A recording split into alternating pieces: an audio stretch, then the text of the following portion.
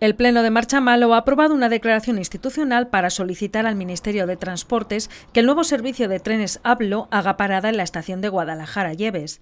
La petición se ha tomado por unanimidad en el Pleno, entre las cuatro formaciones políticas con representación, PSOE, PP, Unidas Podemos y Ciudadanos.